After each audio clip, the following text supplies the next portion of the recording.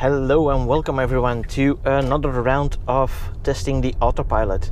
So today I have the exclusive opportunity to test out version 9 on Belgian roads with update 2018.39.7. Um, first thing I notice is that the car is further ahead on the display and also the lines are much closer to the car but that is probably to accommodate more uh, lanes when you're driving on the highway. So, yep, let's see what's what with this update.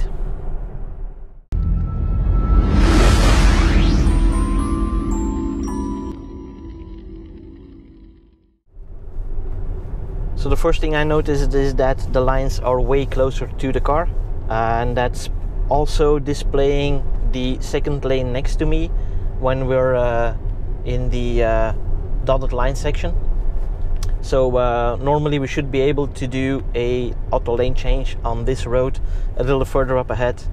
Uh, but let's see when we get there. Oh, the car was jittering a little bit there. That's not so good. Uh, but let's see. Yep, it is displaying in the lane next to me. And now what does it do at the top of the hill? It's just moving dead ahead and here at the wider lane. Oh it is seeking the middle of the wider lane. A little bit more than it does in my car. But not too bad. Here we're coming up at that intersection where it loses lanes on or lines on the left and then on the right. Let's see how it reacts here. Last update for me it went dead straight.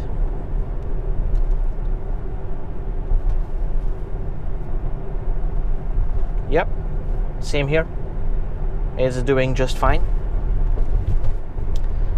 And now let's see whether it detects the uh, next lane. Yep so it detects the next lane. That means if I want to initiate the lane change it should go. Yep. We can now do an auto lane change on secondary roads. Woohoo! Way to go Tesla going back to the right same thing. Also what I notice is a little bit different is that the lines are uh, or the dotted lines are actually moving when you are uh, doing the lane change whereas on my car it actually just displays the dotted lines in a static position. So here we are coming up at the dreaded S-curve again. So let's see what version 9 brings us for handling this. So what I would expect is that the car slows down before the turn and then keeps centered in the turn. My car does only slow down in the curve and it goes over the center line and it drives on the other side in the gutter. So let's see if we can get this car to do it better. Here we go. Oh yeah. That is a lot better let's see on the other side here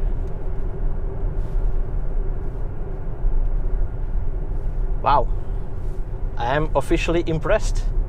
V9, bring it on. So, this is really what I was hoping for a long time already to get on uh, uh, Autopilot 2. And this is more or less the way Autopilot 1 handles this curve. Way to go, Tesla. So let's see when the car is slowing down for the truck. How the lane change goes. So we are starting to slow down. And it is accelerating now already. So that is better than it used to be. Uh, we used to have to go to the middle lane and then like three quarters of the way into the middle lane it would go at the speed of the truck and after that it would only accelerate. So that's an improvement. Let's see if we can repeat this. So here the car is starting to slow down for the other cars. Let's see if it continues to slow down. Yes. Lane change initiated and it is a whoa whoa. There was a car behind me and it did not want to do the lane change, but the car was still some ways behind me. So it actually used the rear view camera probably or the side camera on uh, on the flank to uh, look at that car because it was not yet within the range of the um, of the ultrasonics. So that's interesting.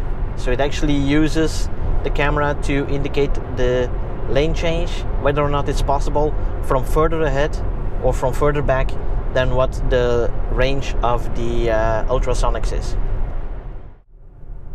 So that was a very interesting lane change uh, scenario because the car behind me, the uh, the gray BMW, that one uh, was in the lane I wanted to merge to. At the moment that I blinked, then uh, that car moved over to the third lane. Uh, but at the same time, the car in front of me was moving to my lane. So there was a lot of movement regarding lane changes and me wanting to do lane changes.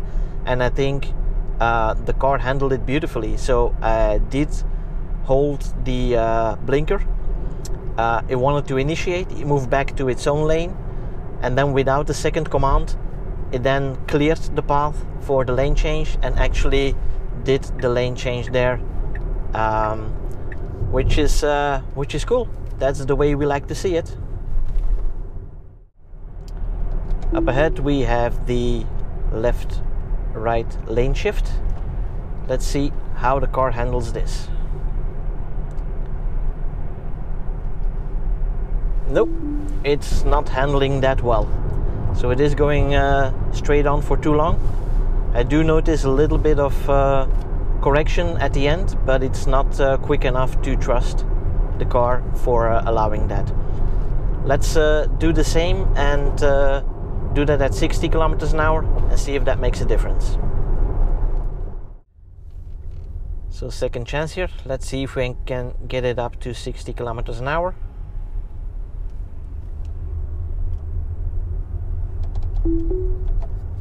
Okay, let's accelerate a little bit more.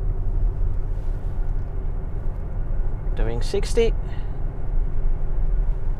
Nope. it's not handling this uh, lane shift uh, at 60 kilometers an hour either. So small regression bug here, but again, this is a corner case, so uh, it's not too bad. And probably um, when we get uh, the official release in Europe, then by that time this will be resolved most likely as well. So now it's time for the conclusion. What do we think of version 2018.39.7? Um, I really like it. Uh, we do have that regression bug that we just saw uh, on that lane shift. But other than that, I think uh, it's almost all improvements. At the beginning, before the bridge, there was uh, the slide going to the right issue that we have, but we didn't quite see the same reaction in uh, other intersections. So uh, that might be a real corner case there for some reason. Um, on the other hand, um, it, it handled the intersection beautifully. We are able to do a, a lane shift in uh, secondary roads. Uh, the way that it actually uh, does the lane shifts or the lane changes on the highway is a lot better. So yeah, I really like it and I'm really looking forward to uh, getting this update on my car. Now, as usual, if you like my videos, please like them and subscribe to the channel. Uh, and don't forget to click that little bell icon so you don't miss out on any new videos. And for now, thanks for watching. See you guys next time. Bye bye.